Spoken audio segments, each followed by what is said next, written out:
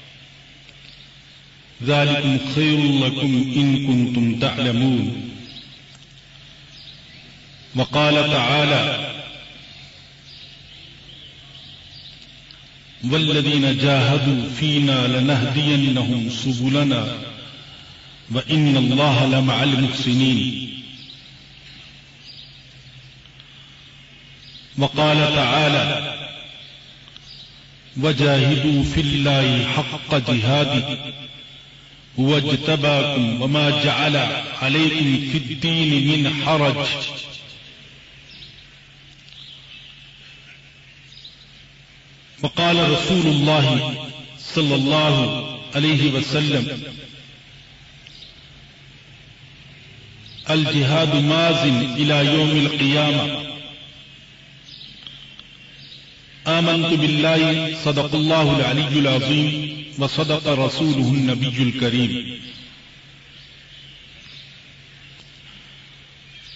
काबिल एहतराम खातिन हजरात अलकुरान कोर्सेज नेटवर्क पाकिस्तान के जेर अहतमाम होने वाली दरस कुरान की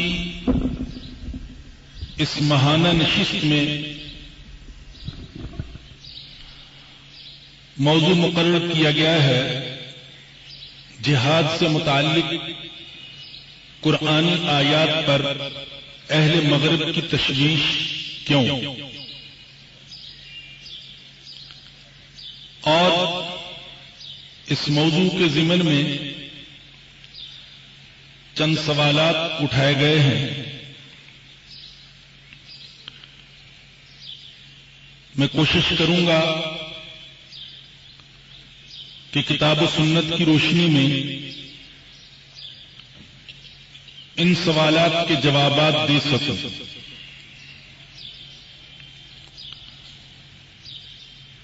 पहले ये जान लीजिए कि जब हम अहले मगरब की इस्तीलाह इस्तेमाल करते हैं तो इससे मुराद वो सारे गैर मुस्लिम होते हैं जो मगरबी ममालिक में रहते हैं।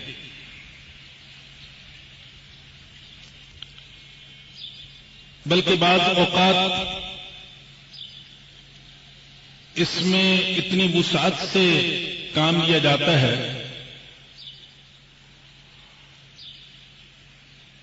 कि सारे ही कुफार मुराद ले लिए जाते हैं खाबू कहीं भी रहने वाले। हैं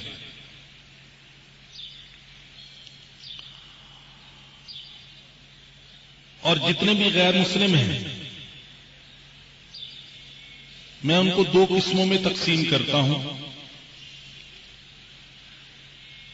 पहली किस्म उन गैर मुस्लिमों की है, जो किसी न किसी आसमानी मज़हब के मानने वाले हैं।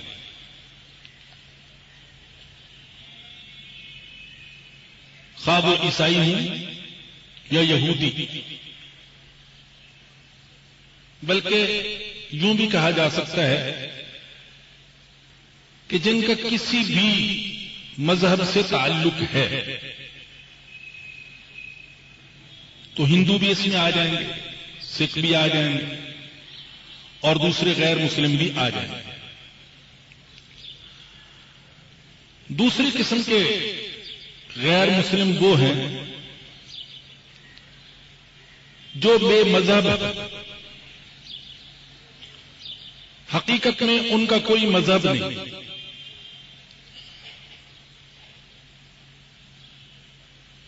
उनका असल मज़हब नफ परस्ती है। वो दुनिया ही को सब कुछ समझते हैं। न अल्लाह को मानते हैं, न सिलसिला नबूवत को मानते हैं, न वही को मानते हैं, न आखरत के दिन को मानते हैं, न हलाल, हराम, कुफर और ईमान के इम्तियाजात को मानते हैं। असल मज़हब उनका अपने नफस की, अपनी ख्वाहिशात की प्रस्तश है। और दुनिया में अक्सरियत ऐसे ही गैर मुस्लिमों की है। जिनके बाप दादा मुमकिन है किसी मज़हब से ताल्लुक रखते हो, लेकिन खुद उनका अब अपना कोई मज़हब नहीं साय सवाए नफ्स परस्ती की।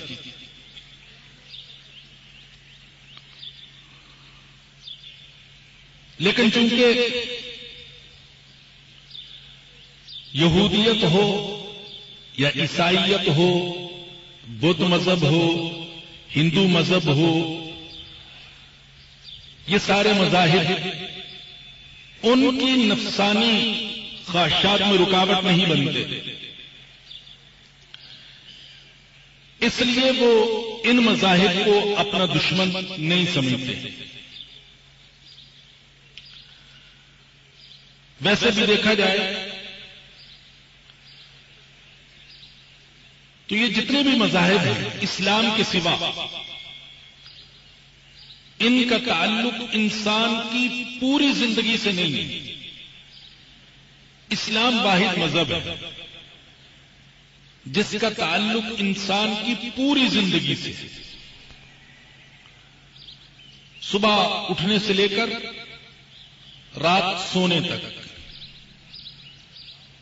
माँ की गोद से लेकर कब्र तक, निकाह से लेकर खरीदो फरोख्त तक, सियासत, हुकूमत से लेकर मीशत और मुआशरत तक,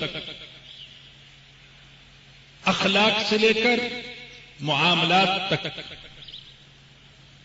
इबादत से लेकर किरदार तक। एक एक शोबे से इस्लाम का ताल्लुक है। लेकिन दूसरे मजाहिब में ऐसा नहीं। तो वो मजाहिब नफ्स परस्तों की ख्वाहिशात में रुकावट नहीं बनते।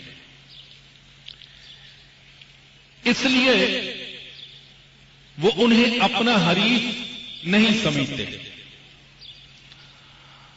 अलबत्ता इस्लाम को अपना हरीफ समझते हैं। खाबो किसी मज़हब से ताल्लुक रखने वाले हों या बेमजहब? ये सब इस्लाम को अपना हरीफ समझते हैं और उसी के साथ इनकी कश्मकश और टकराव जारी है। और ये कश्मकश आज से नहीं है। चौदह सौ साल से। है नबी अकरम सल्लल्लाहु अलैहि वसल्लम से पहले का जो जमाना है, हम उसको जाहिलियत का जमाना कहते हैं। लेकिन जान लीजिए, वो जाहिलियत का जमाना इसलिए नहीं था कि लोग लिखना, पढ़ना नहीं जानते थे। बल्कि वो जाहिलियत का जमाना इसलिए था कि उसमें खुदा परस्ती नहीं थी, नफ्स परस्ती थी। जिस मुआशरे और जिस जमाने और जिस मुल्क में खुदा परस्ती की बजाय नफ्स परस्ती होगी, हम उसे जाहिलियत का जमाना, जाहिलियत का मुआशरा और जाहिलियत वाला मुल्क करार देंगे। ये कह सकते हैं कि वो जाहिलियत कदीमा थी। ये जाहिलियत जदीदा है। कुरान ने उसे जाहिलियत ऊला कहा और ये जाहिलियत सानिया। है ये भी जाहिलियत? थी वो भी जाहिलियत। है ये भी नफ्स है वो भी, थे वो भी नफ्स कुरान और हजूर अकरम सल्लल्लाहु अलैहि वसल्लम की मुखालफत उन्होंने भी की, ये भी कर रहे हैं। और जिन लोगों ने उस वक्त हजूर अकरम सल्लल्लाहु अलैहि वसल्लम का साथ दिया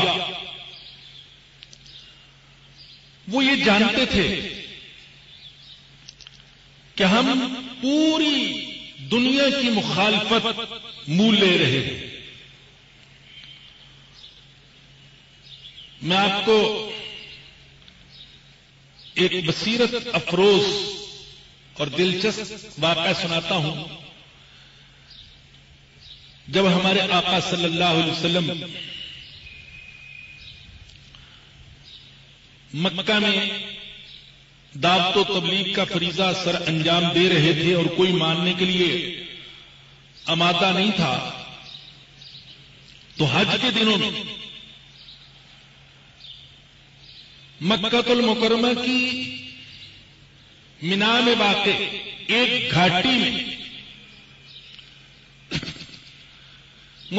मदीना मुनवरा के कुछ लोगों ने हजूर के हाथ पर बैठ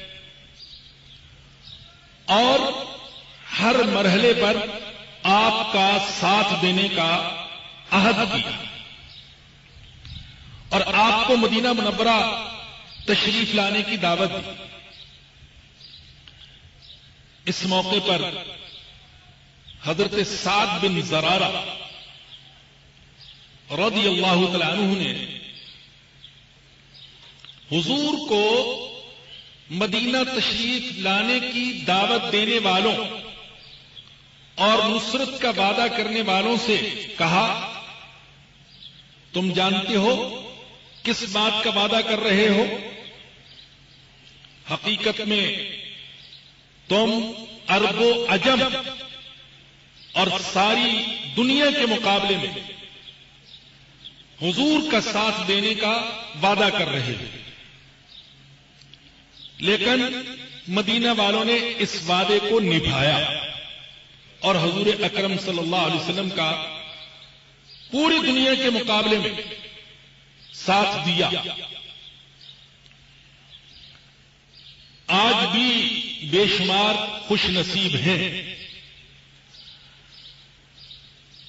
जो पूरी दुनिया के मुकाबले में कुरान का और साहब कुरान हज़रत मोहम्मद मुस्तफ़ा सल्लल्लाहु अलैहि वसल्लम का साथ दे रहे हैं और इंशाला साथ देते रहेंगे।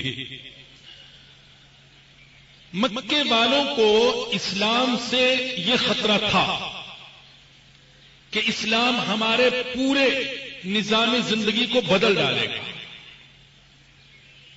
वो जानते थे कि इस्लाम सिर्फ़ एक शोबे तक महदूद नहीं रहेगा, बल्कि इस्लाम ज़िंदगी के पूरे निज़ाम को, पूरे तर्ज को बदल देगा। सरदारा ने कुरैश ने एक मौके पर लोगों को बरगलाते हुए कहा था, क्या तुम जानते नहीं कि मोहम्मद ने हमारे निज़ाम ज़िंदगी को जाहिलाना कहा? चुनाचे उन्होंने मक्के में भी इस्लाम और मुसलमानों को बर्दाश्त नहीं किया, हबशा में भी बर्दाश्त नहीं किया और मदीना में भी बर्दाश्त नहीं किया। अपनी तरफ़ से पूरी कोशिश करते रहे कि कहीं भी इस्लाम और मुसलमानों को कदम जमाने का मौका न मिले। जैसे अबू जहलो, अबू लहब और सरदार ने कुरैश को यह अंदेशा था और अंदेशा हकीकी था कि इस्लाम हमारे पूरे निज़ाम ज़िंदगी को बदल देगा। इसी तरीके से आज के भी बडेरों सरदारों, मुशरकिन, कुफार और दुश्मन, दुश्मनाने इस्लाम को ये अंदेशा है।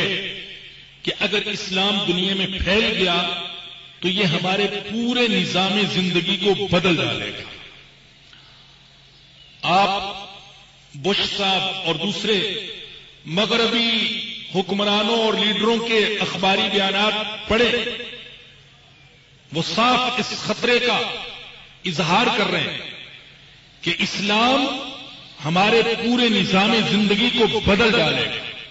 ये मुसलमान जिनको वो कभी मुजाहिद कहते हैं, कभी दहशत गर्द कहते हैं, और कभी खुद कुश कहते हैं, किसी भी नाम से पुकारे, वो उनका नाम लेकर कहते हैं कि ये हमारे पूरे निज़ाम ज़िंदगी को बदलना चाहते हैं।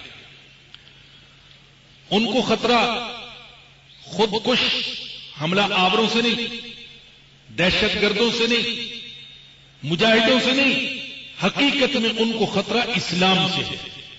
नाम लेते हैं दहशत गर्दों का खुद कुश हमला आवरों का, लेकिन असल खतरा उन्हें इस्लाम से है। ये भी जानते हैं कि इस्लाम फैल रहा है और फैलेगा। इतराफ भी करते हैं। जिस फ़िल्म के हवाले से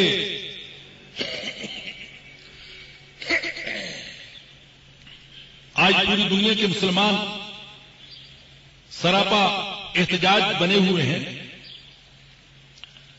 जिसका प्रोड्यूसर हालैंड की पार्लियामेंट का एक रुकन है, खुद उसने इस फ़िल्म में इकरार किया, बल्कि अहले मगरब को होशियार करने के लिए बताया कि आज से 20-25 साल पहले यूरोप में मुसलमानों की आबादी कितनी थी और आज कितनी है? कितनी तेज़ी से इस्लाम फैल रहा? मशहूर इंटरनेशनल डाइजेस्ट रेडरस डाइजेस्ट में यह तस्लीम किया गया कि 1934 से उन्नीस सौ चौरासी के दरमियान, ये जो 50 साल है, इस 50 साल के अरसे में मुसलमानों की तादाद में 235 फ़ीसद के हिसाब से इजाफा हुआ है। यानी 10 फ़ीसद नहीं 50 फ़ीसद नहीं 100 फ़ीसद नहीं 235 फ़ीसद के हिसाब से मुसलमानों की तादाद में इजाफा हुआ। और आपको ताज्जुब होगा ये सुनकर कि ये इजाफा एशिया में नहीं, पाकिस्तान में नहीं, हिंदुस्तान में नहीं, बल्कि ज़्यादातर जो इजाफा हुआ है वो यूरोप में हुआ। है तो हैरत की बात है कि एक मज़हब को उन्होंने टारगेट बनाया हुआ है। उस मज़हब की किताब को हदफ बनाया हुआ है। उस मज़हब के बानी के वो खाके बनाते हैं, कार्टून बनाते हैं, मज़ाक उड़ाते हैं। और उसे माजल्ला एक दहशत गर्द के रूप में दुनिया के सामने पेश करते हैं। लेकिन इसके बावजूद इस्लाम फैलते ही जा रहा है। तो इस चीज़ ने उनकी नींदें हराम कर दी।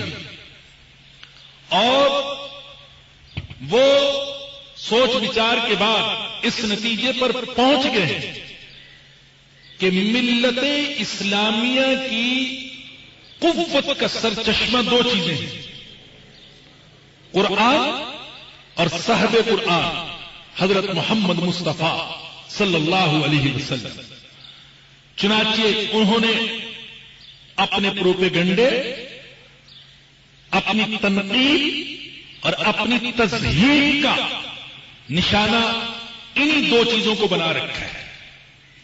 कुरान को और साहब कुरान हज़रत मोहम्मद मुस्तफ़ा सल्लल्लाहु अलैहि वसल्लम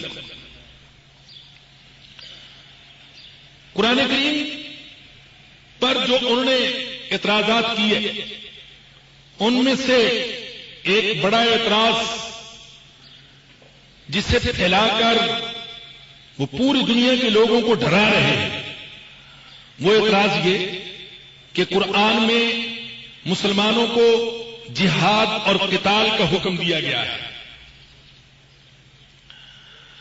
चूँकि ये किताब अपने पढ़ने वालों को जिहाद पर आमादा करती है तशद का रास्ता दिखाती है। लिहाजा उनके बकौल इस किताब पर पाबंदी लगनी चाहिए। या कम अज कम इस किताब में से वो आयात निकाल देनी चाहिए, जिन आयात में मुसलमानों को जिहाद और किताल का हुक्म दिया गया है। चुनाचे ये जो फ़िल्म है फितना के नाम से बनी गई। फितना के नाम से बनाई गई।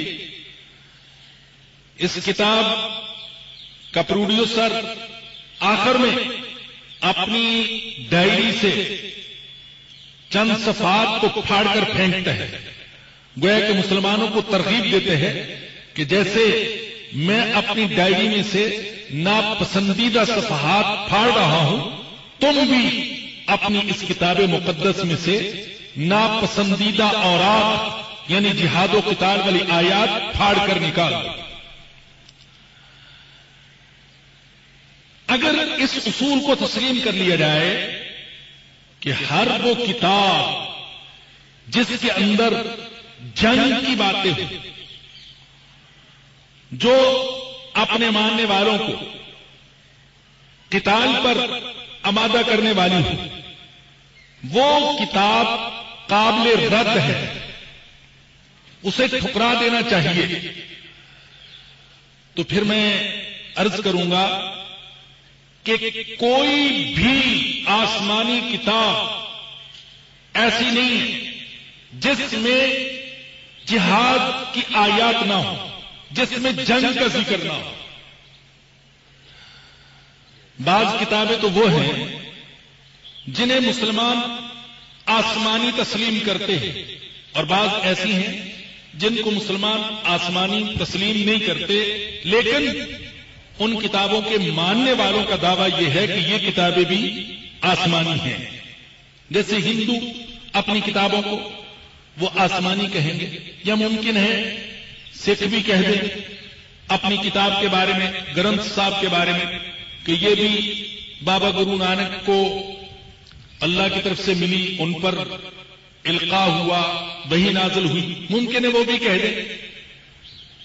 खा वो किताबें हूँ जिन किताबों को मुसलमान आसमानी किताबें तस्लीम करते हैं, और खा वो किताबें हूँ जिनको मुसलमान आसमानी किताबें तस्लीम नहीं करते, लेकिन उनके पैरोकार उन्हें आसमानी किताबें कहते हैं। दोनों किस्म की किताबों में जंग की आयात है, जिहाद के अहकाम है। और तफसील से, यहाँ वक्त नहीं, कि मैं सारे हवाले आपको पढ़कर सुनाऊं। आप सिर्फ़ तौरात की किताब इस्तना आयत नंबर 10 से आयत नंबर 17 तक को ले लीजिए, जिसमें अल्लाह की तरफ़ से यह हुक्म दिया गया तौरात के मानने वालों को कि जब दूर के शहरों पर तुम्हारा कब्जा हो तो वहाँ के हर मर्द को कत्ल कर डाल। और बाकी जो बचे, उनको कैदी बना लो और माले गनीमत शुमार कर लो। और अगर करीब के शहर पर तुम्हारा कब्जा हो तो किसी जानदार को भी ज़िंदा न रहने देना। सबको नेस्को नाबूद कर देना। कम अज कम कुरान करीम में तो इतना सख्त हुक्म कहीं भी नहीं है कि कुरान मुसलमानों से कहता हो कि अगर तुम्हारा किसी शहर पर कब्जा हो तो वहाँ किसी भी जानदार को ज़िंदा न रहने देना। कुरान ने यह कहीं नहीं हुक्म दिया। बल्कि नबी अकरम सल्लल्लाहु अलैहि वसल्लम जब किसी लश्कर को रवाना फरमाते थे तो ताकीद किया करते थे। जो हथियार डाल दे, उसे कत्ल नहीं करना, बूढ़े को कत्ल नहीं करना, औरत को कत्ल नहीं करना, मजहबी रहनुमाओं को कत्ल नहीं करना, बीमारों को कत्ल नहीं करना, बच्चों को कत्ल नहीं करना, उनकी इबादत गाहों को आग नहीं लगाना उनके दरख्तों को नहीं काटना। लश्कर की रवानगी के साथ साथ उन्हें आदाब जिहाद, आदाब जंग भी सिखाया करते थे। इसी तरीके से बाइबल में गिनती आयत नंबर सात से आयत नंबर पैंतीस तक में मूसा इस्लाम ने अल्लाह के हुक्म के मुताबिक जो कुछ किया, उसकी तफसील मजकूर है। और वो ये किया कि मूसा इस्लाम ने मदियानियों पर कब्जा करने के बाद उनके घरों और छावनियों को जला दिया। और सारे लड़कों और शादीशुदा औरतों को कत्ल कर दिया। और जितनी भी कमवारियाँ थी, तकरीबन बत्तीस हज़ार। उनको अपने सरदारों और अपने मुजाहिदों में तकसीम कर दिया यह आज भी बाइबल के अंदर मजकूर है कि मूसा ने ये जो सब कुछ किया, लड़कों को, बच्चों को कत्ल किया, शादीशुदा औरतों को कत्ल किया, और कमारियों को तकसीम कर दिया ये तफसीलात आज की बाइबल में भी मौजूद हैं। कम से कम कुरान करीम में तो ऐसा हुक्म कहीं नहीं। कि मुसलमान अगर किसी मुल्क या किसी शहर पर काबिज हूँ तो वहाँ के सारे बच्चों को कत्ल कर दें और शादीशुदा औरतों को भी मौत के घाट उतार दें और सारी कमवारियों को अपनी मलकियत में ले लें। कम अज कम कुरान करीम में आपको एक भी आयत ऐसी नहीं मिलेगी। तौरात और इंजील के अलावा आप हिंदुओं के वीर देखें। उनमें भी आपको कत्ल गारत गरी से मुतालिक अहकाम और तफसीलात मिलेंगे।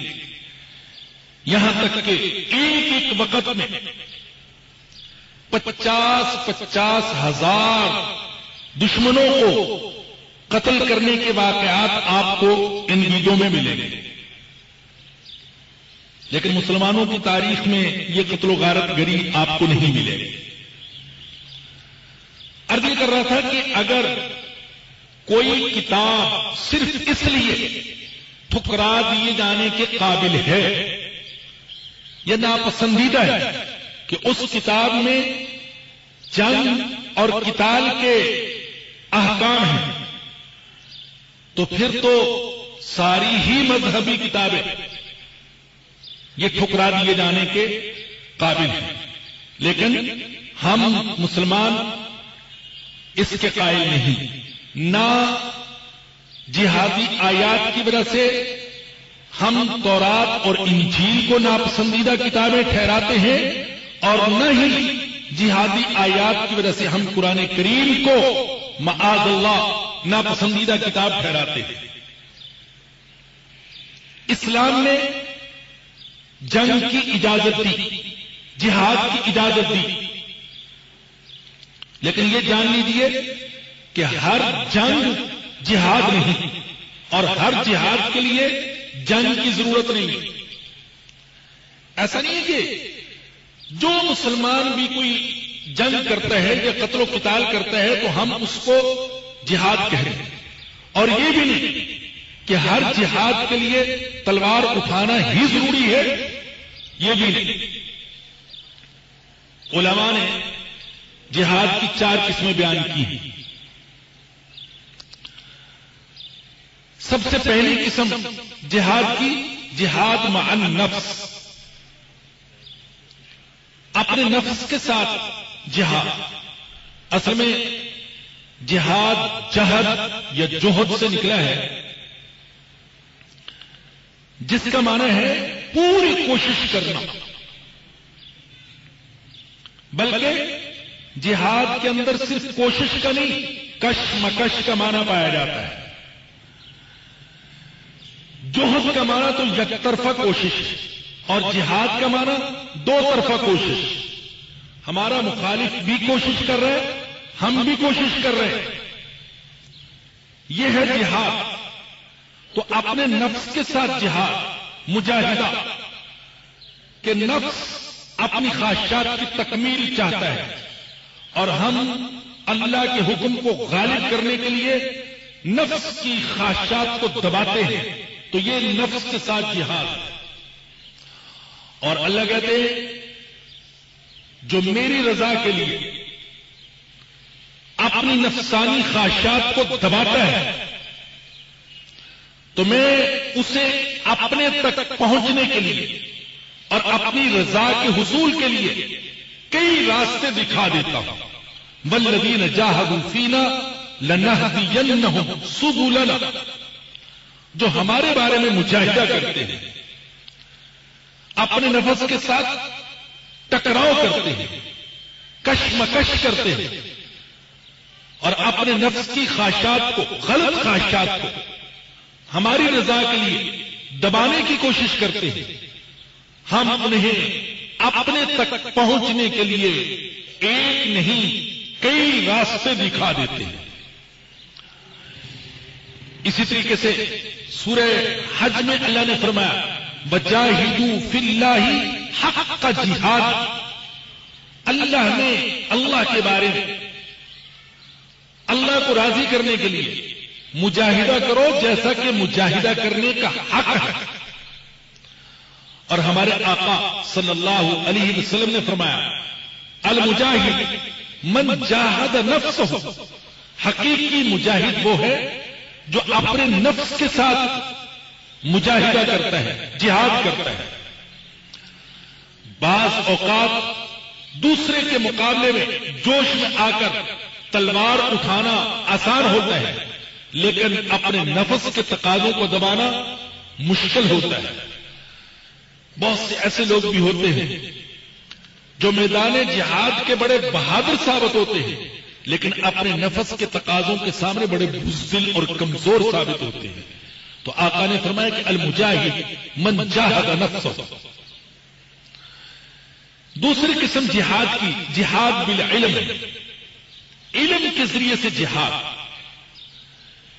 इसमें जबान भी आ गई, कलम भी आ गया, मीडिया भी आ गया जिहाद बिल इल्म।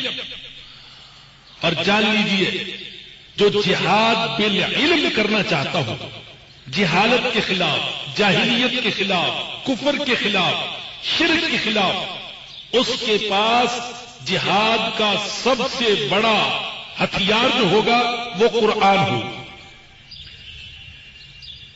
अल्लाह बाग ने फरमाया कि फला तुत काफिरीन बजाहिद हम बिही जिहादन कबीरा। आप काफरों की इतात न करें। और इस कुरान के ज़रिए से कुफार के मुकाबले में जिहाद कबीर करें। बजाहिद हम भी जिहादन कबीरा। इस कुरान के ज़रिए से दुश्मनान दीन के साथ सबसे बड़ा जिहाद करें। जिहाद कबीर। जान लीजिए।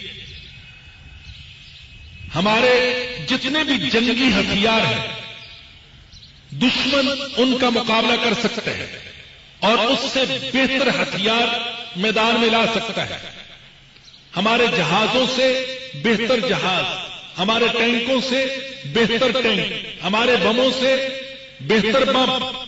लेकिन कुरान करीम मुसलमानों के पास जिहाद का एक ऐसा आला, एक ऐसा हथियार है कि दुश्मन इससे बेहतरीन हथियार पेश नहीं कर सकता, इसके मुकाबले में नहीं ला सकता।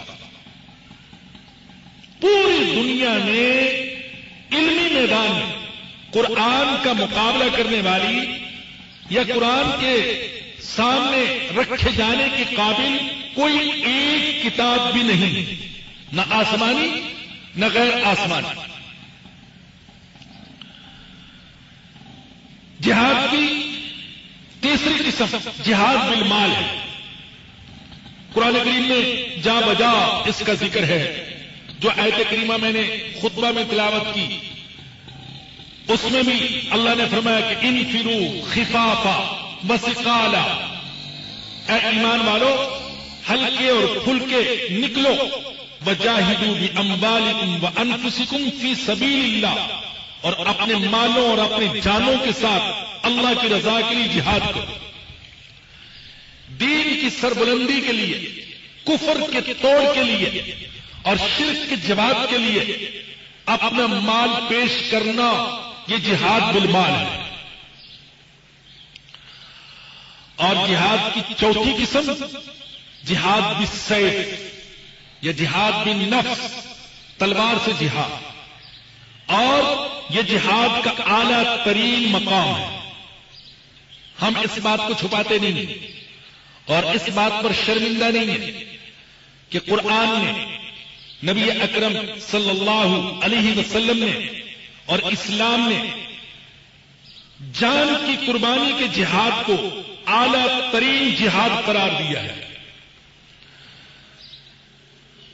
यह जिहाद इस बात का मजहर है कि मुजाहिद को अपने नज़रिए की सच्चाई पर इतना यकीन है कि वो अपने नज़रिए की खातिर रातों की नींद कुर्बान कर सकते हैं, अहलो अयाल कुर्बान कर सकते हैं, माल कुर्बान कर सकते हैं हत्या कि अपनी जान भी कुर्बान कर सकता है। इसलिए जो अल्लाह के दीन के लिए लड़ता हुआ मारा जाए, हम उसको शहीद कहते हैं।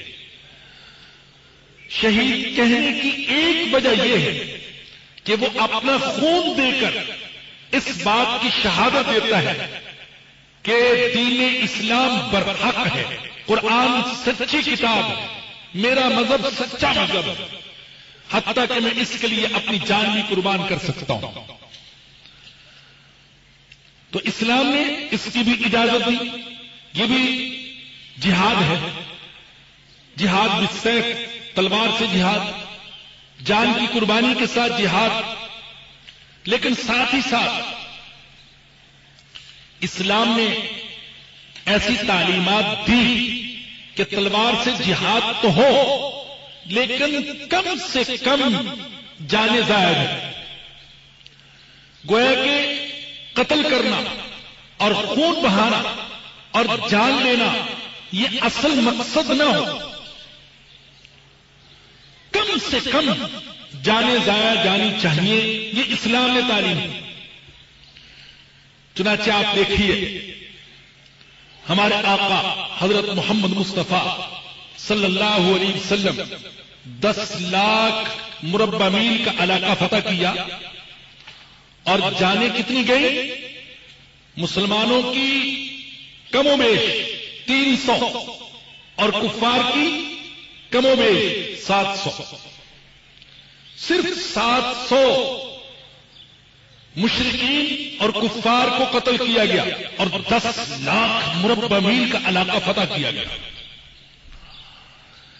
मेरे आका हज़रत मोहम्मद मुस्तफ़ा सल्लल्लाहु अलैहि वसल्लम की सदाकत और आपकी हक्कानियत के तो बेशुमार दलाइल है। लेकिन मैं समझता हूँ, एक बहुत बड़ी दलील यह भी है कि आप मुजाहिद आज़म थे।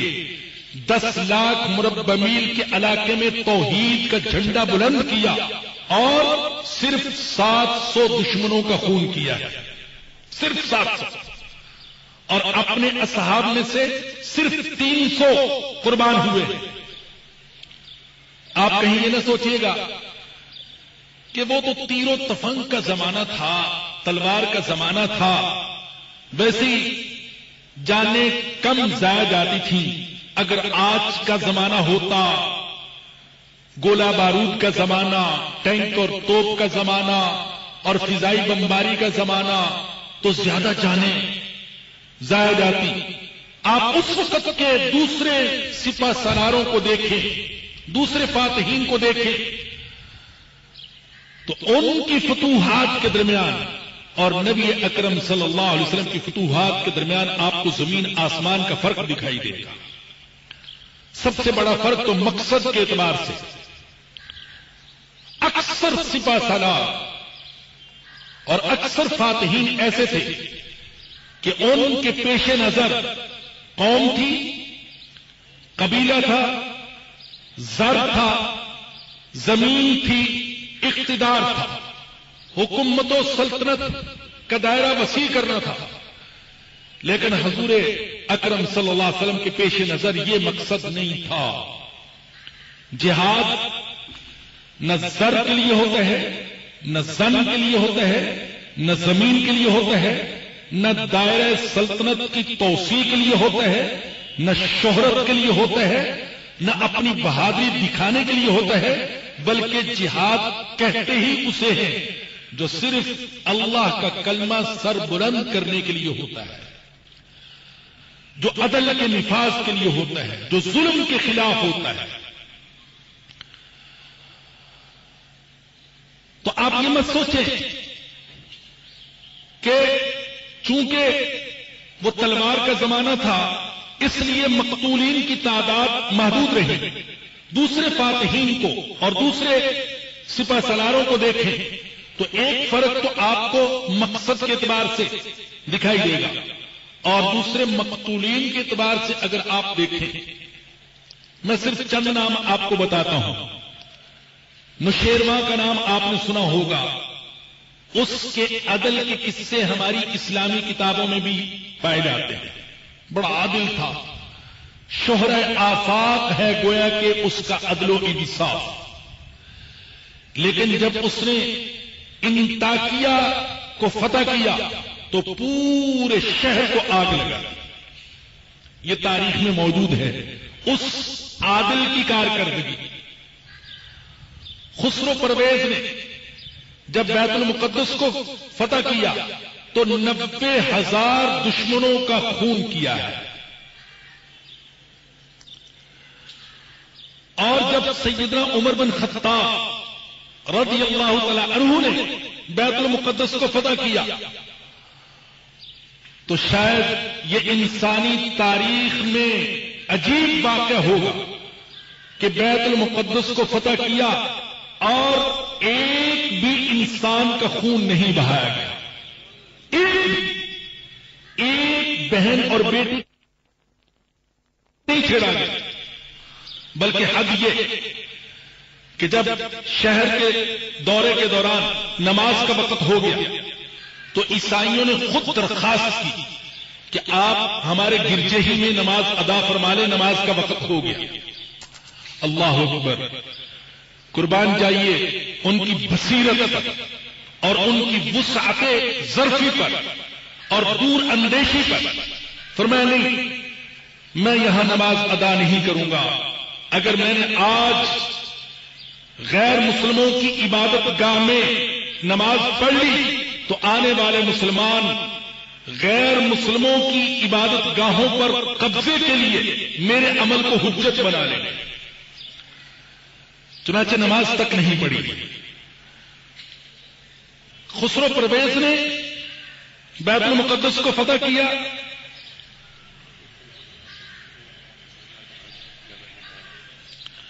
परवेज ने बैतुल मुकद्दस को फतह किया तो नब्बे हज़ार इंसानों को कत्ल किया।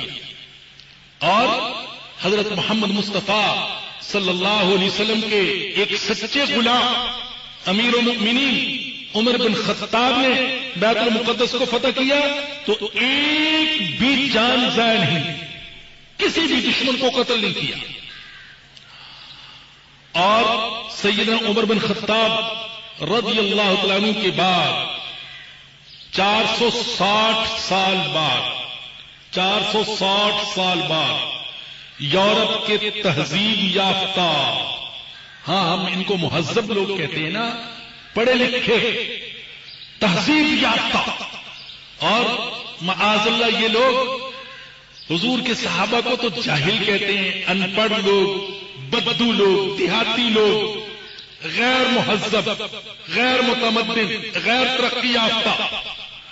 वो जो माजल्ला तुम्हारे ख्याल में गैर मुहजब थे, गैर तरक्की याफ्ता थे गैर मुतमद्दिन थे और गैर तालीम याफ्ता थे। उन्होंने तो बैतुल मुकद्दस को फतह किया तो एक इंसान का भी खून नहीं बहने दिया। और तुम्हारे तहजीब याफ्ता, तालीम याफ्ता सुलझे हुए सलीबी शहजादों ने 460 साल बाद जब बैतुल मुकद्दस को फतह किया तो मुसलमानों का खून इतनी कसरत से बहाया गया कि बैतुल मुकद्दस की गलियों में घुटनों तक खून की वजह से दलदल बन गई। अल्लाह अकबर। और इस बात का इकरार खुद गैर मुस्लिम मुहक्कीन मुर्रकीन और मुसन्फिन ने किया कि मुसलमानों का खून इतना बहाया गया कि उस दिन हर तरफ़ गली कूचों में मुसलमानों का खून ही बहता हुआ दिखाई देता था। घोड़ों के सो मुसलमानों के खून में डूब गए। और फिर इन सलीबी शहजादों के छियानवे साल बाद सलाहुद्दीन अयूबी अल्लाह उनकी कबर पर करोड़ों रहमत नाजल फरमाया उन्होंने बैतुल मुकदस को फतह किया। तो आप तारीख उठाकर देख लें, खून खराबा नहीं होने दिया। और फिर बीसवीं सदी में अमेरिका और बरतानिया की सरपरस्ती में यहूदियों को पूरी दुनिया से लाकर वहाँ बसाया गया और फलस्तीनियों से उनकी ज़मीन को छीना गया तो जब से यहूदी वहाँ पर आबाद हुए, तब से लेकर आज तक कोई दिन ऐसा नहीं गया जब किसी न किसी मुसलमान बच्चे, किसी न किसी मुसलमान बच्ची, किसी मर्द, किसी औरत, किसी बूढ़े की लाश न उठती हो। हम रोज अखबार में पढ़ते हैं और सारी दुनिया पढ़ती है, सारा मीडिया देखता है, फलस्तीनियों के जनाजे उठ रहे हैं। कभी उन पर पानी बंद कर दिया जाता है। कभी बिजली बंद कर दी जाती है। कभी शाहराहें उनके लिए बंद कर दी जाती हैं। कभी उनकी बस्तियों के इर्द गिर्द दीवारें तामीर कर दी जाती हैं, ताकि पूरी दुनिया से, यहाँ तक कि वहाँ के रहने वालों से भी उनका राबता मुनकते हो जाए। तो एक तरफ़ मुसलमानों का किरदार और दूसरी तरफ़ गैर मुसलमानों का किरदार। मैं अगर ये कहूँ तो बेजाना होगा। कि मुसलमानों के सामने अपने आका हज़रत मोहम्मद मुस्तफ़ा सल्लल्लाहु अलैहि वसल्लम का उसवा था, नमूना था कि अगर तुम्हें फतह हासिल हो तो तुम्हें क्या करना है? अल्लाह अकबर। हमारे सामने हुजूर का ये उसवा भी मौजूद है कि अगर शिकस्त हो जाए तो क्या करना है? जैसा कि गजब ओहद में किया था। और हमारे सामने ये नमूना भी मौजूद है कि अगर तुम्हें फतह हो तो फिर क्या करना है? फतह मक्का की सूरत में हमारे सामने ये भी मौजूद है। अल्लाह अकबर, मक्का फतह हुआ और कौन सी सरजमीन थी मक्का, जहाँ मुसलमानों को गलियों में घसीटा गया था, अंगारों पर लिटाया गया था, तड़पा तड़पा कर मारा जाता था। मजलूमों बेकसों के जिस्म के टुकड़े कर दिए जाते थे। हुजूर के जिसमें अतहर पर गंदगी फेंकी जाती थी। काबा के अंदर सजदा करने की इजाज़त नहीं थी। भूखा प्यासा तड़पने पर मजबूर किया जाता था। लेकिन उसी मक्का को जब आपने फतह किया और आपके एक जियाले ने यह नारा लगा दिया, अल यौम यौमुल मलहमा, आज हम बदला लेंगे, आज बदला लिए जाने का दिन है। तो मेरे आका ने यह ऐलान फरमाया, नहीं अल यौम यौमुल मरहमा, आज रहम करने का दिन है, आज मुआफ करने का दिन है। कमज़ोरी में, मगलूबियत में माफ़ करने वाले बहुत होते हैं ताकत के होते हुए माफ़ करने वाले मोहम्मद मुस्तफ़ा होते हैं, सल्लल्लाहु अलैहि वसल्लम, और या फिर मोहम्मद मुस्तफ़ा के गुलाम होते हैं। तो नबी अकरम सल्लल्लाहु अलैहि वसल्लम का उसवा मुसलमानों के सामने मौजूद। लेकिन दूसरी अकवाम की यह बदकिस्मती कि उनके सामने, उनके किसी मजहबी रहनुमा का ऐसा उसवा और नमूना मौजूद नहीं है। अल्हम्दुलिल्लाह, हम इस एतबार से बड़े खुशकिस्मत हैं कि ज़िंदगी के हर शोबे के लिए हमारे सामने हजूर अक्रम वसल्लम की सीरत के अंदर कोई न कोई उसवा और नमूना है। और दूसरे इस एतबार से खाली हाथ हैं, खाली दामन है कि उनके सामने अपने मजहबी पेशवाओं के हर हर मरहले पर नमूने मौजूद नहीं। ये दो पहले सवाल थे जिनके मैंने जवाब देने की कोशिश की। यानी जिहाद से मुताल कुरानी आयात पर अहले मगरब की तशवीश क्यों? और दूसरा ये कि क्या जिहाद का हुक्म सिर्फ़ कुरान में है, दूसरी आसमानी किताबों में नहीं है? एक तीसरा सवाल जो उठाया गया है, आज की इस निशिस्त में, वो ये कि जिहाद और दहशत गर्दी में क्या फ़र्क है? पहली बात तो ये जान लें कि हर दहशत गर्दी काबिल मुजम्मत नहीं है और हर दहशत गर्द काबिल नफरत नहीं है। आपको ये ताज्जुब होगा कि मैं ये क्या कह रहा हूँ, लेकिन हकीकत यही है, जो शख्स चोरों के लिए डाकुओं के लिए, जालिमों के लिए दहशत गर्द साबित होता है। वो काबिल नफरत नहीं है। वो तो हमारा मोहसिन है। वो तो हमारा हीरो है। सर पर बिठाए जाने के काबिल है।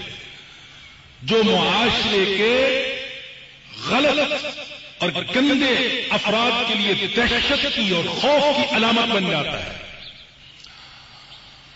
अगर ऐसे लोगों के लिए कोई भी खौफ खतरा न हो तो पूरा मुआशरा जहन्नम का नमूना पेश करेगा। तो हर दहशतगर्द काबिल नफरत नहीं, हर दहशत गर्दी काबिल मुजम्मत नहीं। यह अलग बात है कि अहले मगरब की यह चलाकी है कि वो किसी एक इस्तिलाह को, एक नारे को एक लफज को उठाते हैं तो उसे प्रस्तश की हद तक पहुँचा देते हैं कि इसकी सबको प्रस्तश करनी चाहिए। जैसे उन्हें जमहूरियत को उठाया तो गया कि जमहूरियत एक ऐसी चीज़ है जिसके बगैर किसी का ईमान ही मुकम्मल नहीं होता। ऐसा बना दिया। जमहूरियत जमहूरियत जमहूरियत। जहनों में यह बात बिठा दी कि जब तक तुम जमहूरियत को नहीं मानते, तुम्हारे ला इलाहा इल्लल्लाह मुहम्मद पढ़ने का भी कोई एतबार नहीं है। जब तक जमहूरियत को नहीं मानते, न दुनिया के मसाइल हल हो सकते हैं, न गोया के आखरत के मसाइल हल हो सकते हैं। हुकूक निस्वों का नारा उठाया। औरतों के हुकूक, औरतों के हुकूक। कोई नहीं जानता क्या है औरतों के हुकूक। कोई नहीं जानता। लेकिन इस नारे को उठाया। और प्रस्तश की हद तक पहुँचा दिया कि अब हर कोई नारा लगा रहा है? हुकूक निस्वा औरतों को हुकूक मिलने चाहिए। औरतों को हुकूक मिलने चाहिए। और औरत बिचारी जुल्म की चक्की में पिस रही। है उसको मीरास नहीं दी जा रही।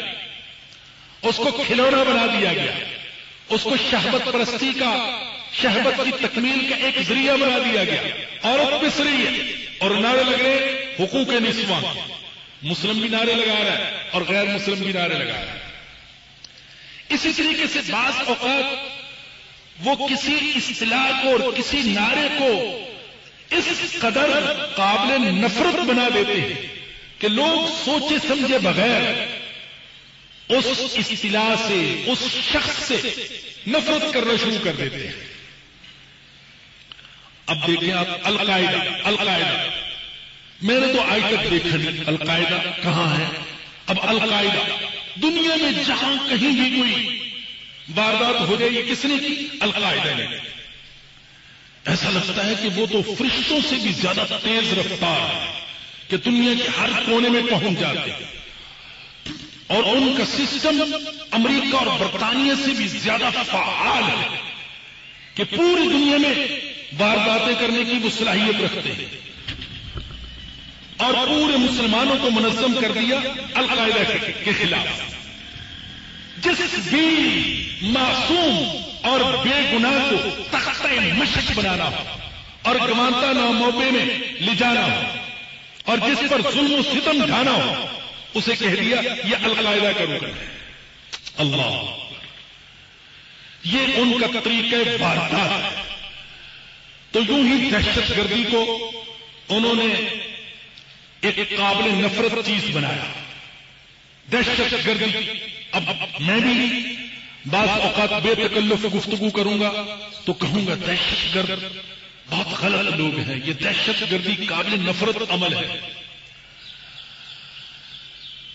एक तरफ़ तो उन्हें दहशत गर्दी को और दहशत गर्द को काबिल नफरत चीज़ बना दिया और दूसरी चीज़ साथ ये लगा दी कि हर मुसलमान दहशत गर्द है।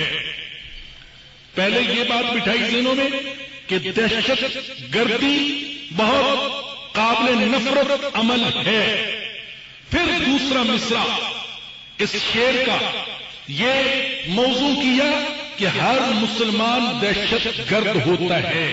बिलखसूस टोपी वाला, बिलखसूस पगड़ी वाला, बिलखसूस दाढ़ी वाला बिलखसूस शराब से बचने वाला, बदकारी से बचने वाला, बिलखसूस मस्जिद की खिदमत करने वाला, बिलखसूस मदरसे की खिदमत करने वाला, बिलखसूस कार्य खैर में बढ़ चढ़कर हिस्सा लेने वाला, चाहे वो इस्लामी किस्म की एनजीओ ही क्यों न हो, वो ट्रस्ट ही क्यों न हो, वो भी काबिल नफरत है कि ये सब दहशत तो दो चीज़ें जहनों में बिठाई। एक तो दहशत गर्दी का अमल कि दहशत गर्दी जिस सूरत में भी हो, ये काबिल नफरत चीज़ है। और दूसरी चीज़ जहनों में ये बिठाई कि हर मुसलमान और बिलखसूस बुनियाद परस्त मुसलमान, इस्लाम की बुनियादों को मानने वाला और इस्लाम पर अमली तौर पर चलने वाला यह हर मुसलमान दहशतगर्द होता है। ये जहनों में बात बिठाई गई। अगर दहशतगर्दी काबिल नफरत अमल है, चलो मान ली, ये काबिल नफरत अमल है, दहशतगर्दी को खत्म करना चाहिए। लेकिन आपको ताज्जुब होगा कि दहशत गर्दी के खिलाफ जितना प्रोपेगंडा किया जाता है और जितनी आवाज़ उठाई जाती है इतनी तवज्जो दहशत गर्दी के असबाब खत्म करने पर नहीं दी जाती। भाई किसी को बीमारी है और उसको बीमारी के असबाब का भी पता है तो उसका इलाज तो यह है कि बीमारी के असबाब को खत्म किया जाए। आप बीमारी का तो बड़ा प्रोपेगंडा करते हैं लेकिन बीमारी के असबाब को खत्म नहीं करते तो बीमारी कैसे खत्म होगी? दहशत गर्दी काबिल नफरत अमल है, लेकिन उससे भी ज़्यादा काबिल नफरत अमल दहशत गर्दी के असबाब और वो लोग सबसे ज़्यादा काबिल नफरत हैं जो दहशत गर्दी के असबाब को फरोग देते हैं।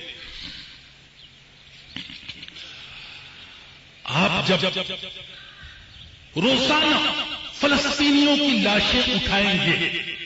रोज़ाना छोटी सी बच्ची के सामने उसके मासूम भाई को गोली से उड़ा दिया जाएगा।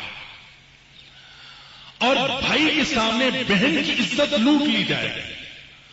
और उनकी बस्तियों और एक एक तिनका तिनका जोड़कर बनाए हुए आशियाने को आग लगा देंगे। और उन पर पानी और बिजली जैसी बुनियादी सहूलियात बंद कर देंगे तो क्या दहशत गर्दी नहीं होगी? उनकी अपनी ही ज़मीन उन पर तंग कर दी गई। फलस्तीनियों की ज़मीन, लेकिन फलस्तीनियों को उस सरजमीन पर आज़ादी के साथ और अमन के साथ रहने का हक नहीं है। कश्मीरियों को आप कश्मीर में अमन और सुकून से नहीं रहने देंगे और उन्हें आज़ादी नहीं देंगे। और इराकियों पर जाकर आप कब्जा जमा लेंगे और अफ़गानिस्तान में जाकर आप हुक्मरान बन बैठेंगे। तो क्या वहाँ दहशतगर्दी फरोग नहीं पाएगी? सबसे ज़्यादा ज़रूरत जिस चीज़ की है, वो दहशतगर्दी के असबाब खत्म करने की है।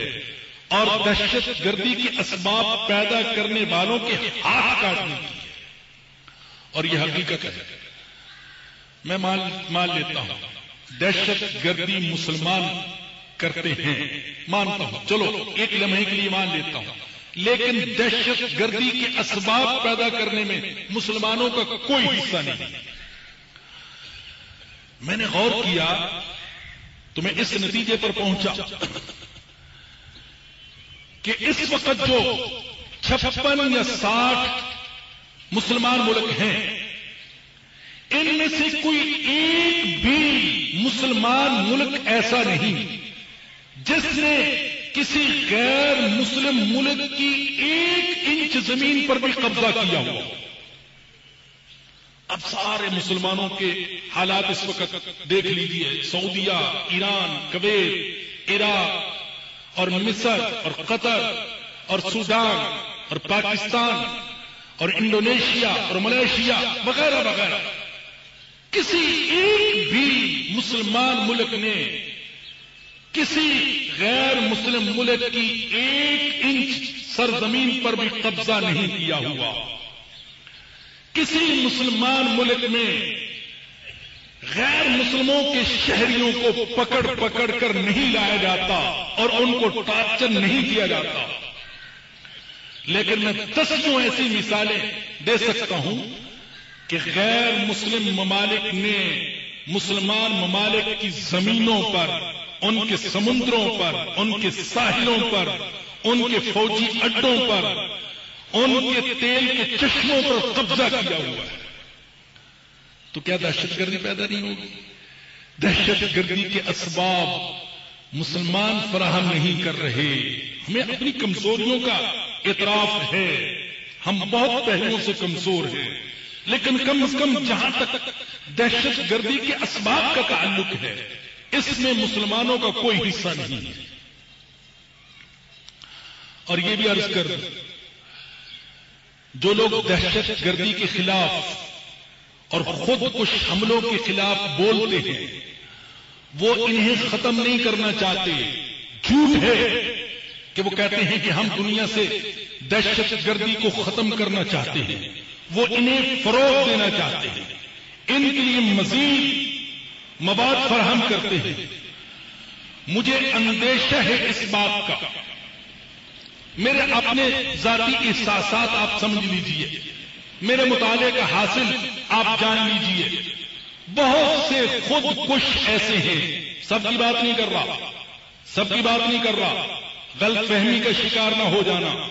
बहुत सारे खुद कुछ हमला करने वाले ऐसे हैं, जिनके पीछे अमेरिका का हाथ है और दूसरी मजहबी कुतों का हाथ है। और बहुत से खुद कुछ हमले ऐसे हैं जो मसनूई झूठे हकीकी नहीं।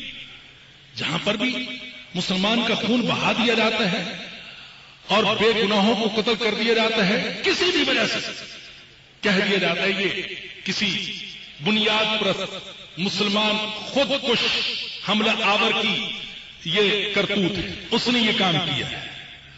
अव्वल तो बहुत से इन हमलों के पीछे मगरबी ताकतों का हाथ बिल वास्ता या बिला वास्ता और दूसरे नंबर पर, इनमें से बहुत सारे हमले ऐसे हैं जो बिल्कुल मसनूई किस्म के आप बताइए, जो खुद कुछ हमला आवर, गरीब बेगुना मुसलमानों के मजमे के मजमे को बम में उड़ा देता है,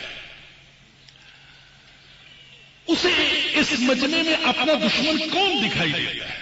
वो किसे खत्म करना चाहता है? चंद महीने पहले, अभी हाल ही की बात है, लांडी में एक हमला हुआ। बेचारे रेड़ी लगाने वाले, ठेले लगाने वाले, मेहनत कश, मजदूर, उनको किसी ने बम धमाके में उड़ा दिया। आप बताइए उनका क्या कसूर था? मसनू हमले होते हैं और उनको खुद कुछ का नाम दे दिया जाता है। तो दहशत गर्दी के असबाब अगर खत्म कर दिए जाए तो दहशत गर्दी दुनिया से खुद ब खुद खत्म हो जाए। चौथा सवाल जो किया गया है कि मगरबी दानश्वरों का दावा यह है कि मुस्लिम उलमा आयात जिहाद की गलत तशरी करते हैं। अव्वल तो मुझे मालूम नहीं भी कौन करते हैं गलत तशरी और अगर बिल फ़र्ज़ कोई करता भी है तो उलमा उसकी निशानदही करते हैं और उलमा ही को निशानदही करने का हक हासिल है। कुरान की तफसीर और कुरान की तशरी कुरान के उलमा, मुसलमानों के उलमा कर सकते हैं।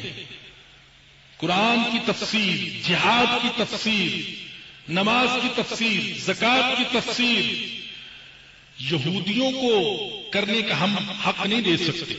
ईसाइयों को करने का हक नहीं दे सकते। जिहाद क्या है? जिहाद की हकीकत क्या है? जिहाद के शराय क्या है? जिहाद के मकासद क्या है? जिहाद के अहदाफ क्या है? जिहाद के फजाइल क्या है? ये सब कुछ मुस्लिम उलमा बता सकते हैं। इस सिलसिले में हम गैर मुस्लिमों को अथॉरिटी तस्लीम नहीं करते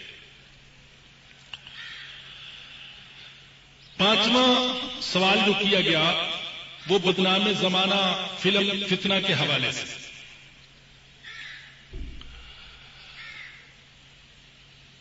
मैंने जो कुछ इस हवाले से देखा, सुना और पढ़ा, मैं उसके बाद इस नतीजे पर पहुँचा हूँ कि इस फ़िल्म साज ने इस्लामी नुक़ नज़र से नहीं मगरबी नुक़ नज़र से भी इंतहाई बदत्यांति से काम लिया है। कोई भी ऐसा शख्स जो इल्मी जौक रखता हो, तहकीकी जौक रखता हो, वो ये तस्लीम किए बगैर नहीं रहेगा कि इस फ़िल्म का बनाने वाला इंतहाई झूठा, मक्कार इस्लाम के लिए दिल में बुख रखने वाला इंसान है, जिसने हकायक को तोड़ मरोड़ कर पेश किया है। आप उसकी बदयानती का अंदाज़ा इस बात से लगाएँ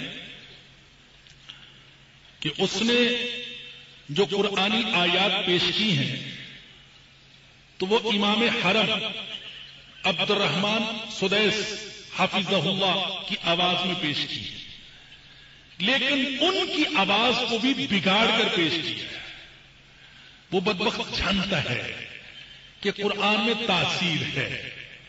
जो सुनेगा इन आयात को अब्दुलरहमान सुदैस साहब की आवाज़ में सुनेगा, उनकी असल आवाज़ और लहजे और उसलूब में सुनेगा तो वो सुनकर मुतासर हो सकता है। खा वो गैर मुस्लिम ही क्यों ना हो? चनाचे उसने आवाज़ को भी बिगाड़ने की कोशिश की है, ताकि सही आवाज़ में कुरान ना पहुँच सके। फिर उसने ये किया कि एक तरफ़ तो वो कुरानी आयात पेश करता है, वो आयात जो कि जिहाद और किताल से ताल्लुक रखती हैं। वह कुव्वा वमिन रिबातुल खैल बिही अदुवुल्लाहि व अदुव्वकुम व आखिरिन मिन दूरिहिम ला तअलमूनहुम अल्लाहु व कातिलू फ़ी सबीलिल्लाह इस तरह की आयात पेश करता है और फिर वो दुनिया में पेश आने वाले दहशत गर्दी के मुख्तलिफ़ वाकआत और सानहात को पेश करता है मिसाल के तौर पर नाइन अलेवन का हादसा और इराक में कटी हुई गर्दने और अफ़गानिस्तान में बहता हुआ खून इस किस्म के वाकयात पेश करते हैं, कुरानी आयात के पस मंजर में। गोया के अपने नाजरीन को यह तसर देने की कोशिश करते हैं कि जिन लोगों ने नाइन अलेवन का हादसा किया, या इराक और अफ़गानिस्तान में जिन्होंने खून बहाया, उन्हें ऐसा करने पर कुरान ने आमादा किया है। इन आयात ने आमादा किया। है मेरा पहला जवाब तो उसके प्रोपेगंडे का यही है कि जितने भी उसने वाकयात पेश किए हैं, इन सब वाकयात के पसे पर्दा हाथ, वो तौरात के मानने वालों का है, इंजील के मानने वालों का है, कुरान मानने वालों का नहीं नाइन अलेवन का हादसा उसके बारे में अब तो बहुत सारी किताबें आ चुकी जिनमें यह तस्लीम किया गया है कि यह हादसा मुसलमानों का नहीं है अलकायदा के अंदर इतनी सलाहियत नहीं थी कि वो इतना बड़ा वाक्य कर सकते उनके अंदर ये सलाहियत नहीं थी ये यहूदियों की मुनजम साजिश थी जिसके तहत ये वाक्य पेश आया। अब तो उस पर खुद अहले मगरब की किताबें बाज़ार में आ चुकी हैं। और दूसरा जवाब ये अर्ज़ करूँगा कि अगर आप ये कहते हैं, मैं मान लिया कि इन टावर्स को जो तबाह किया, वो चंद मुसलमानों ने किया। और इराक में जो खून बहा, वो मुसलमानों की वजह से बहा। अफ़गानिस्तान में जो खून खराबा हुआ, मुसलमानों की वजह से हुआ। चले मैंने मान लिया। लेकिन आप उससे ये नतीजा निकालते हैं कि कुरान माज अल्लाह काबिल रद और काबिल नफरत किताब है। इसलिए कि कुरान ने मुसलमानों को ऐसा करने पर आमादा किया। तो मेरा सवाल यह है, हिटलर ने आपके बकौल आपके बकौल साठ लाख यहूदियों को कत्ल किया। हिटलर ने साठ लाख यहूदियों को कत्ल किया, जिसे होलोकास्ट कहा जाता है, और उस पर बहस की पूरी दुनिया में इजाज़त नहीं दी जा रही। और इसको एक बहुत बड़ा जुर्म समझा जाता है कि कोई शख्स इस प्रोपेगंडे के खिलाफ तहकीक करे कि होलोकास्ट की हकीकत क्या थी क्या वाकई ऐसा हुआ था या नहीं हुआ था। लेकिन आप कहते हैं कि ऐसा हुआ था। और किसने किया था? हिटलर ने। कितने यहूदियों को कत्ल किया? साठ लाख यहूदियों को। और कौन था हिटलर? ईसाई। तो अगर मैं ये कहूँ कि हिटलर को ऐसा करने पर बाइबल ने आमादा किया तो क्या मैं हक बजाने हूँगा मैं कहता हूँ, बाइबल ने उसको आमादा किया, चूँकि बाइबल के अंदर जिहाद की आयात हैं, किताल की आयात हैं। तो हो सकता है कि हिटलर ने बाइबल पढ़ ली हो तो इस किताब ने उसको खून खराबे पर आमादा किया। और इतना खून तो मुसलमानों ने कहीं भी नहीं अपने मुखालफीन का बहाया। हिरोशिमा नागासाकी पर किसने एटम बम बरसाया? किसने? इन हँसते मुस्कुराते बसते हुए चेहरों को और शहरों को जला दिया। किसने जलाया? ईसाइयों ने एटम बम बरसाया क्या मैं ये कह सकता हूँ कि एटम बम बरसाने वालों को बाइबल ने ऐसा करने पर आमादा किया था? पहली जंग अजीम में, पहली जंग अजीम में चौसठ लाख या बहत्तर लाख इंसान कत्ल हुए। और कातलों में मुसलमान नहीं थे। मुसलमान नहीं थे, ईसाई थे। तो क्या मैं ये कह सकता हूँ कि पहले जंग अजीम में जितना भी खून बहाया और जो भी खून बहाने वाले थे, उनको बाइबल ने ऐसा करने पर आमादा किया था। दूसरी जंग अजीम में पाँच करोड़ इंसानों का खून बहाया गया और बहाने वाले मुसलमान नहीं थे। काफिर थे, गैर मुस्लिम थे और अक्सरियत ईसाइयों की थी। क्या मैं ये कह सकता हूँ कि इन ईसाइयों को पाँच करोड़ इंसानों का खून बहाने पर तौरात और इंजील ने आमादा किया। था तो अगर किसी मुसलमान से कोई हरकत होती है तो उसे माज अल्लाह कुरान की तरफ़ मंसूब करना और फिर कुरान को काबिल नफरत चीज़ करार देना? ये अदल और इंसाफ का तकाजा नहीं है। छठा सवाल जो उठाया गया है, वो ये कि अहले इस्लाम के लिए नहीं, छठा सवाल जो उठाया गया, वो ये कि अहले मगरब के लिए हकीकी खतरा क्या है? मेरे इस बयान के अंदर जो मैं बात कर चुका हूँ, इस सवाल का जवाब तो वैसे आ चुका। और जान लीजिए कि अहले मगरब के लिए हकीकी खतरा, न हमारे शहजादे हैं, न हमारे बादशाह हैं, न सोने चांदी की बोहतात है, और न पेट्रोल के जखायर हैं, और न इस वक्त का ये कमज़ोर सा बेअमल सा मुसलमान है। अहले मगरब के लिए हकीकी खतरा इस्लाम है। इस्लाम, जिसके अंदर अल्लाह पाक ने बेपनाह ताकत रखी है। अहले मगरब के लिए हकीकी खतरा नबी अकरम सल्लल्लाहु अलैहि वसल्लम की सीरत है, जिसमें हर मसले का हल मौजूद है। अहले मगरब के लिए सबसे बड़ा खतरा वो कुरान है, जिसके अंदर आज भी वही तासीर है जो सवा चौदह सौ साल पहले थी। और जो पूरी दुनिया में मेरे इस जुमले पर गौर कीजिएगा, कुरान पूरी दुनिया में आसमानी तालीमात को महफूज रखने वाली, मिन्नो अन महफूज रखने वाली वाहिद किताब। जान लीजिए, बाइबल में आसमानी तालीमात मिन्नो अन महफूज नहीं है। किसी भी दूसरी मजहबी किताब में आसमानी तालीमात मिन्नो अन महफूज नहीं, तहरीफ हो चुकी, तब्दील हो चुकी खलतमल्त हो चुका। कुरान वो वाहिद किताब है पूरी दुनिया में, जिसमें आसमानी तालीमात मिन्नो अन महफूज है। उनमें ना कोई तगैर हो सका, ना तब्दीली हो सका। अगर दुनिया में बसने वाले इंसानों ने सारे मंशूरों और सारे दस्तूरों और सारे इज्मों और सारे निजामों और सारे प्रोग्रामों से मायूस होकर किसी जमाने में आसमानी तालीमात की तरफ़ वापसी का फैसला किया और मेरी बसीरत कहती है, मेरा दिल कहता है कि दुनिया में बसने वाले इंसान किसी न किसी जमाने में यह फैसला ज़रूर करेंगे। कि हमें आसमानी तालीमात की तरफ़ वापस जाना चाहिए।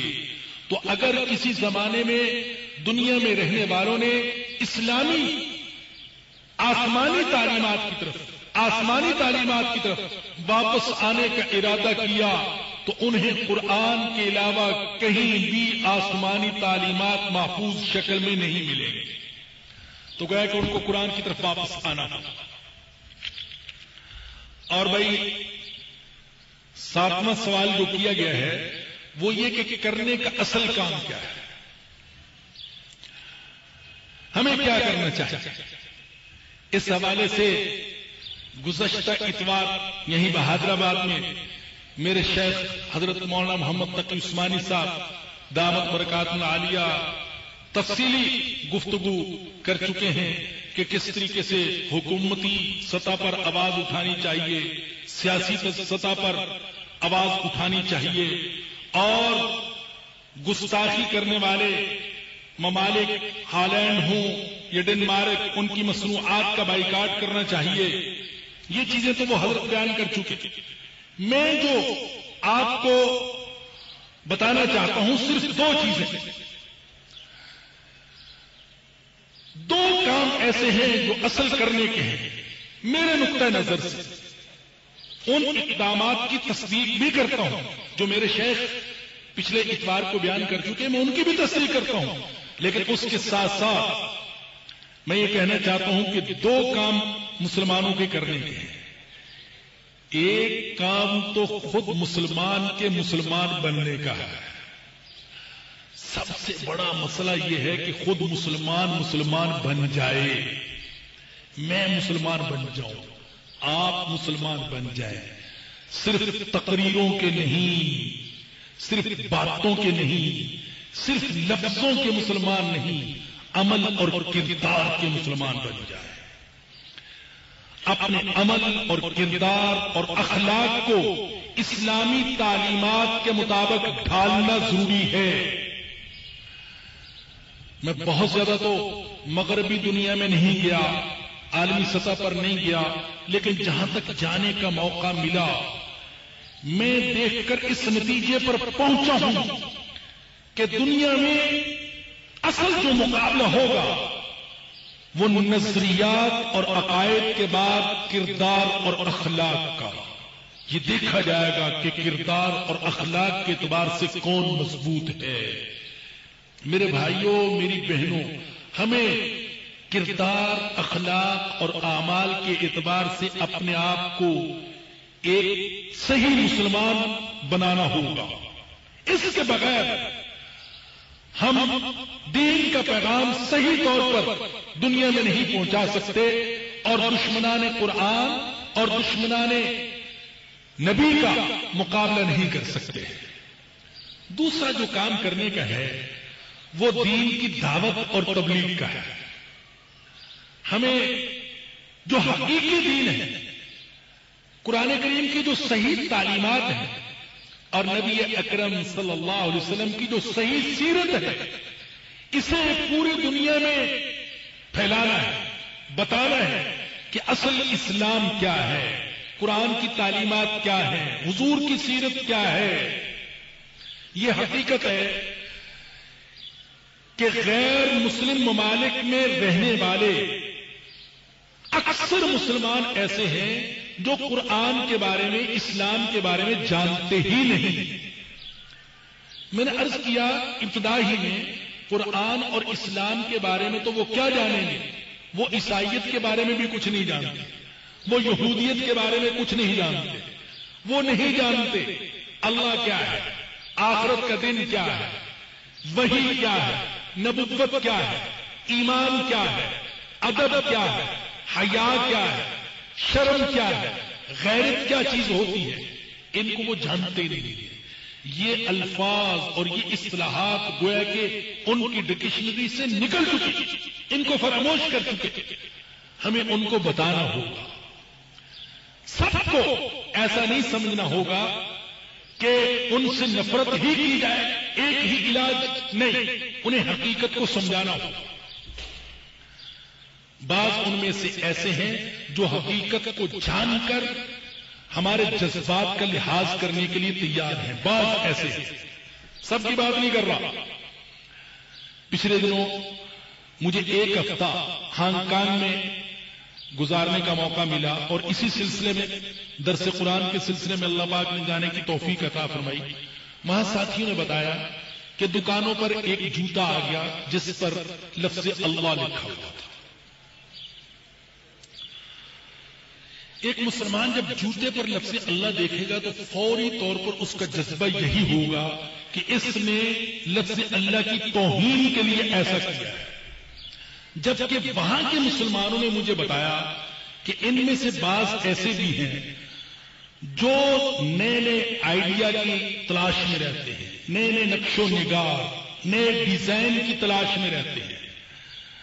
तो उनमें से कोई ऐसा बेवकूफ़ भी था जिनको लफ्ज अल्लाह का गोया के डिज़ाइन ये खताती बड़ी पसंद आई। बहुत खूबसूरत लग रहा है।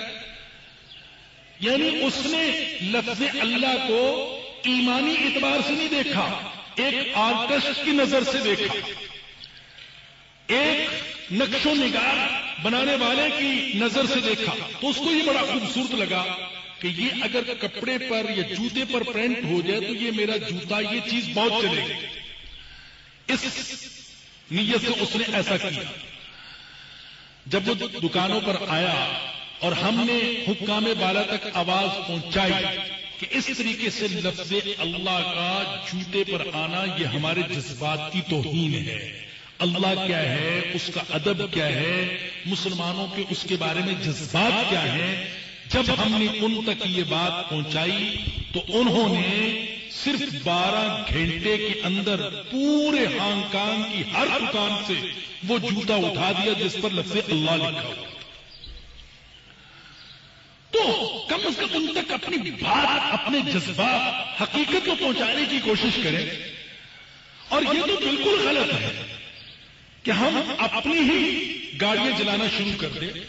अपने ही कारखानों को आग लगाना शुरू कर दे और अपनी ही शाहराहों को बलाट कर ले और ये समझे कि हम हालैंड और डिनमार्क के गुस्ताख को सजा दे रहे अपनी गाड़ियाँ जलाकर, अपनी दुकानें, अपनी जायदादें जलाकर, अपने मुसलमान भाइयों को ज़िंदा जलाकर हम उन गुस्ताखों को सजा दे रहे खुदारा, कुछ हकीकत को समझिए। हर चीज़ को जज्बात के तराजू में ना तोले। कुछ हकायक को भी मनहूस रखना ज़रूरी है। इसी तरीके से एक और मिसाल बताता हूँ। मुझे वहाँ के साथियों ने बताया कि यहाँ पर एक दुकानदार ने दुकान बनाई और उसमें ऐसा किया कि फर्श पर जो मार्बल लगाया, जो टाइलें लगाई तो उन टाइलों पर हर मज़हब की नुमाया जो अलामत हैं, जो उनको तशखस देने वाली अलामत हैं, वो उन टाइलों पर थी। नक्शो निगार की सूरत में बनी हुई, ईसाइयों की भी थी, यहूदियों की भी थी, हिंदुओं की भी थी, बुद्ध मज़हब वालों की भी थी और मुसलमानों की भी थी। उसमें बैतुल्ला भी था, रोज रसूलुल्लाह भी था। ये सारी चीज़ें थी उन टायरों पर। अब उसने अपने ख्याल में, अपनी दुकान में एक ऐसा काम किया जो किसी भी दुकान में नहीं था, कि सारे मजाहिब के मानने वालों की जो नुमाया मजहबी अलामत थी, वो उसने टाइलों पर बनवाई। अब उसको पता ही नहीं कि इससे तोहीन होती है। बैतुल्ला की तस्वीरें नीचे, तोहीन होती है। रोज़े रसूलुल्लाह की तोहीन होती है। ये उसको पता ही नहीं, वो जानता ही नहीं। अदब क्या है, एहतराम क्या है। वो तो हल्के मरियम की तस्वीर पर भी जूती रखने को तोहीन नहीं समझते। तो काबे पर जूती रखने को तोहीन क्या समझेंगे? लेकिन अल्हम्दुलिल्लाह मुसलमानों ने जब देखा तो पुलिस को मुतवजह किया कि ये मजहबी अलामत हमारे जज्बात को मजरू करती हैं।